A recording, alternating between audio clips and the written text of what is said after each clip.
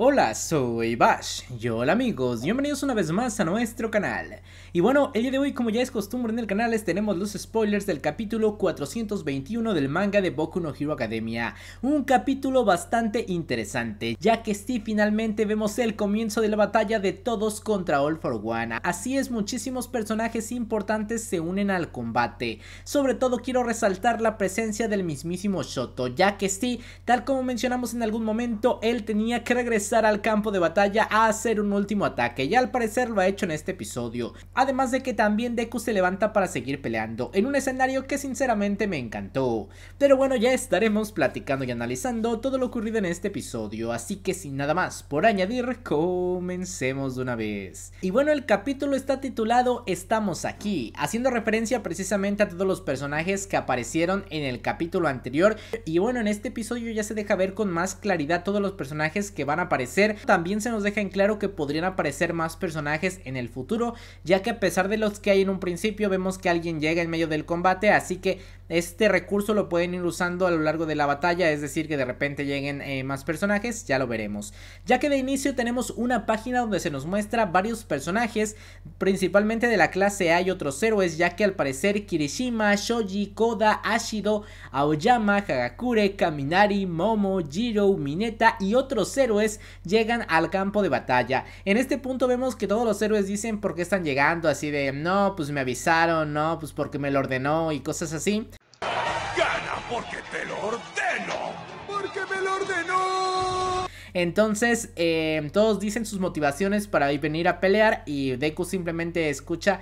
la razón por la que todos están peleando. De esta forma se nos dice que al parecer es Mineta, sí, es el tipo que tenemos aquí, todo badass, todo destructor de mundos, el que menciona el título del episodio, es decir, estamos aquí, listo para pelear y derrotar a All for One. En este momento Mineta todavía no hizo nada importante, pero yo creo que se lo están guardando. O sea, yo tengo fe en que Mineta eh, va a acabar con All for One, sinceramente. Pero de cualquier forma, en este momento tenemos un panel bastante god de todos los personajes que llegaron, o al menos la gran mayoría que se alcanza a ver en este punto. Y la verdad es que se ve bastante genial. De hecho, también vemos por ahí a Zero que se ve muy god, entonces muy bien. De esta manera comenzamos también con algo bastante interesante, ya que All for One nos aclara un misterio que se planteó en el capítulo anterior, y es por qué demonios él sigue vivo, ya que justamente Deku se preguntó por qué All for One seguía vivo si él destruyó a Shigaraki y técnicamente junto a él tendría que haberse destruido All for One también, ya que supuestamente se habían combinado. En este momento All for One nos explica la razón, y es que menciona que después del sacrificio de Yoichi, al parecer algo despertó dentro de All for One, él sintió un dolor enorme, un dolor terrible, y esto fue lo que lo hizo resurgir de las cenizas. Hay que recordar que de alguna manera dentro del mundo de los vestigios las emociones más fuertes son lo que gobierna. Esta es la razón por la cual el odio de Shigaraki era suficiente para anteponerse a todas las voluntades de los vestigios o algo así. Entonces en este momento All for One nos dice que el hecho de perder a su hermano fue una emoción tan grande y tan fuerte que él tuvo la capacidad de separarse de Shigaraki. Bueno, esto es más o menos lo que nos dicen. ¿Tiene sentido? Más o menos, más o menos. A ver, lo compro porque yo sí estoy a favor de All for One, la verdad. De esta manera vemos que finalmente All for One dice que ahora finalmente entiende cómo es que las tragedias hacen más fuertes a los héroes, es decir, por qué al momento de perder a alguien importante después los héroes regresan con mucho mayor poder y él básicamente lo llegó a entender en este punto al perder a alguien que al parecer sí era muy importante para él y él nunca lo había tomado mucho en cuenta, que era su hermano Yoichi. De esta manera finalmente vemos cómo All for One activa una gran cantidad de peculiaridades al más puro estilo de All for One ya que hay que recordar que le gustaba hacer sus brazos grandes. Entonces en este momento vemos como los brazos de Shigaraki Shigarafo, bueno ya es All for One completamente, le crecen sus brazos de una manera realmente bestial. Y aquí me pregunto si Aizawa no está haciendo nada o realmente no puede neutralizar a All for One ya que se supone que él era el que iba a ayudar aquí porque realmente si no están neutralizando sus quirks la verdad es que tenemos muchísimos problemas.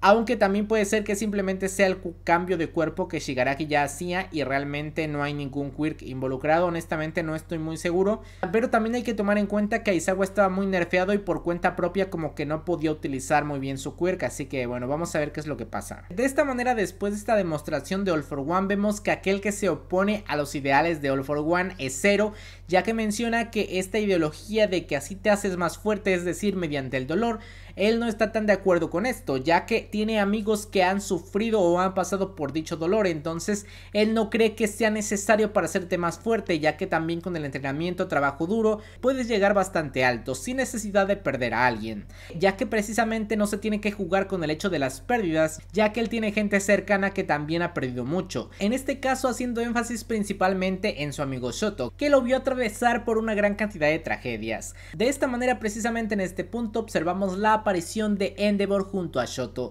ya que si ellos regresan al campo de batalla seguir peleando, mientras que Zero menciona que las tragedias no deberían de existir, a lo que vemos como Endeavor y Shoto sueltan su ataque más poderoso en contra de All for One, y justamente después de esto vemos un pequeño flashback para explicarnos cómo fue que estos dos llegaron al campo de batalla, ya que observamos a los robots de la UA llevándose a Rey, además de que Natsu menciona que ha llegado a su límite después de ayudar a otros civiles, así que bueno, hay que recordar que ellos no son héroes y a pesar de que tal vez tengan ciertas cualidades, pues no podían apoyar más. Pero por otro lado, Endeavor menciona que ahí solo va a subir su temperatura, por lo que lo mejor será seguir luchando y expulsar todo el fuego que tenían dentro contra alguien. Y obviamente siendo All for One el afectado, ya que vemos como rápidamente también Zero captura a estos dos para intentar salvarlos o alejarlos del campo de batalla, después de que ya habían lanzado su máximo ataque. Por otro lado también vemos que Present Mike finalmente aparece de los portales gritándole a todos que avancen y que peleen, ya que básicamente hoy es su última gran misión. Entendí que Present Mike estaba gritando la frase de hoy es un gran día para morir.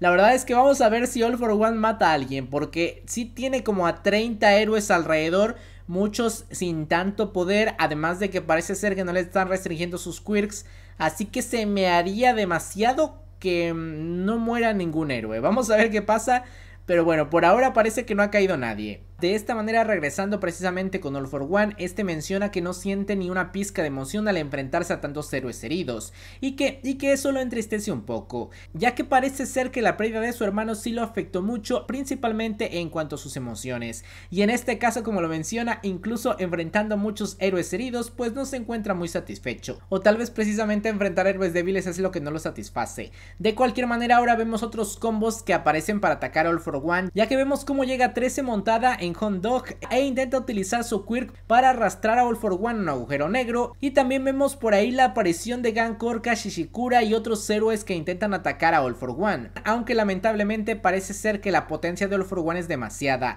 Incluso observamos que por ahí Burdin intenta desviar la trayectoria de All for One, pero esta es tanta que es prácticamente imposible que estos héroes hagan algo para detenerlo, ya que él es demasiado rápido y fuerte. Por otro lado también observamos la participación de Kendo, la cual menciona que tienen que seguir atacando al mismo tiempo, a lo que Deku intenta levantarse para ir a ayudar, ya que se está dando cuenta de que todos los héroes están peleando a la vez. Lamentablemente este se cae al suelo ya que obviamente Deku sigue bastante dañado, a lo que Aizawa le explica algo a Deku respecto al rebobinado de Eri, y es que debido a que tenía poca energía como se mencionó en capítulos anteriores, pues solo logró regresarlo minutos antes de que perdiera los brazos, por lo que todo el daño acumulado que llevaba de la batalla pues se quedó en su cuerpo, básicamente solo recuperó los brazos, que tampoco es poca cosa, pero bueno, al menos no lo regeneró totalmente. De cualquier manera en este momento Deku ya finalmente revela que al parecer ha perdido completamente el One for All y todas las peculiaridades de sus anteriores portadores. Pero a pesar de esto él todavía puede seguir luchando ya que como habíamos eh, comentado anteriormente él todavía tiene las brasas al igual que All Might y gracias a esto él va a poder seguir peleando por un tiempo más. Es por eso que finalmente Deku se intenta levantar para seguir peleando y en este punto vemos una de las mejores escenas del episodio ya que Aizawa le entrega la camisa que el chico del capítulo anterior le dio a Izawa para que se la diera a los héroes. Y bueno, creímos que iban a usar estas camisas como de vendas o algo por el estilo, pero al parecer esta camisa se la dieron particularmente a Deku, el cual pues bueno la recibe bastante feliz ya que obviamente es una camisa de All Might y emblemáticamente es como si All Might lo estuviera acompañando, algo bastante genial, a lo que Deku rápidamente se lo pone. Además de que al parecer algo que es de vital importancia es que esta camisa no es cualquier camisa camisa es exclusiva como de colección o algo así. Entonces por eso Deku le toma mucho más importancia a esta camisa, sabe que no es cualquier camisa y el hecho de que un civil se la haya dado tiene bastante eh, impacto en él, por lo que dice, bueno, por esta camisa me voy a rifar. De esta manera vemos que aquel que aparece junto a Deku para acompañarlo al campo de batalla es el mismísimo Aoyama, el cual ofrece su mano diciéndole que corran juntos, además de mencionar, te necesitamos si tú nos necesitas, a lo que Deku recuerda el momento en el que él le tendió la mano a Aoyama y entonces se emociona ya que básicamente a final de cuentas esta situación fue correspondida por Aoyama. Si me preguntaran qué personaje podría morir en la batalla final y fuera de la clase A, creo que Aoyama es claro candidato. Creo que su redención podría culminar con todo esto. Honestamente, si fuéramos a matar a alguien de la clase A, creo que Aoyama podría ser. De esta manera ahora pasamos con una de las mejores escenas del episodio ya que después de que Deku se levanta y comienza a caminar observamos a los civiles que se encuentran también observando el campo de batalla y al propio Deku mientras vemos como todos gritan el nombre de Deku vemos a Eri apoyando también a Kota y el mismísimo Gran Torino que están muy emocionados apoyando a Deku con todo.